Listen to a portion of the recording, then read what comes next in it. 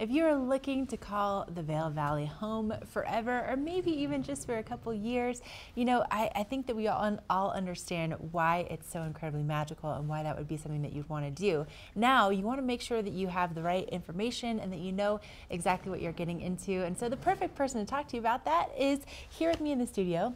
Bart, you have been here for how long in the Vail Since Valley? 1990. 1990. So there's a little something that you like about this place. A little something, and a little something I know about the place. Right. Now we were talking off camera that you actually originally came out here because why? Came for the environment and for the real estate. Okay, so you came for the real estate, and now you're still in real estate. You work for LIV Sotheby's International, and uh, and so when it comes to real estate nowadays, uh, you know you've seen some of the trends over the years, but what's the market doing right now? Well, you know, our market is different than most markets that people come from, suburbs, and they, they try to figure out, oh, how can we price this house? What can we look at? We have really two segments. We have the primary people, which you are now, Right. Yes, I'm excited to be one of and then we have the, the people who come here part time. And some of that part time is even six months here, six months away. Off season, they go back home. So there's two different marketplaces. And the primary people, of course, are always interested in buying homes. Sure. And so that's been very strong for us, um, very strong. I, I concentrate on the Upper Valley market. Okay. So everything from the golf courses in Wolcott to East Vail. And what we're seeing, uh, $750,000 up. Okay. In 2015, July today, the 20th, there were 64 sales for 116 million. Okay. So pretty Not- good. Pretty good. Pretty good. Okay. And so we're on a par because now we have 60 sales that same time period for 120 million dollars. So Wow. we're still we were you know sort of neck and neck. So the market is strong, and the motivation is changing depending on the age category. You know, as we say, our 45 to 55 year olds are usually our strongest buyers. And so who are the sellers? Well, it's 15 years later. These people are 60 on up, and mm, their dynamics are different. So they're the sellers. Okay. And one of the transitions we're seeing is the buyers are not necessarily interested in the styles of the homes of 15 years ago.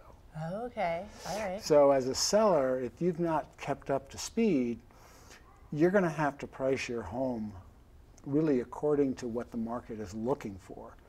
Not necessarily how much you love it, how big it's been for your family, but the location and the desirability to the buyers. And that's one of the challenges we have right now is talking to our sellers and saying, yes, it's been wonderful. I- I think the best quote I had from someone who really got it was a gentleman that said, Bart, you know, I don't know what I'm going to get for this house, but actually, I don't really care. It's given me everything I could have ever dreamed of. So the money, it's interesting, but it's not the most important thing. So definitely something that you want to consider when you're when you're about to put your home on the market. That that things are changing a little bit, and that maybe some of the styles are changing, some of the tastes are changing. So maybe shag carpet is not in demand these days. Mm, not so much. not, not, so, not so much, right. So th- this gets into staging. And when, when you call a professional in and, and we say, mm, this is great, but uh, for instance, I just uh, listed a house up in Singletree, and I just moved their furniture all around. I didn't add any more furniture, but I took a lot out. Okay. I mean, it took almost a day to get the pictures off the walls and the family pictures and all those. Because you want things. people to to picture themselves in these places. So, so you're going to go buy shoes even. Do you want to be distracted by something else in the display? no. You want to just be focused on shoes. Right. So when someone comes to buy your house and look at you want them focused on this being their house.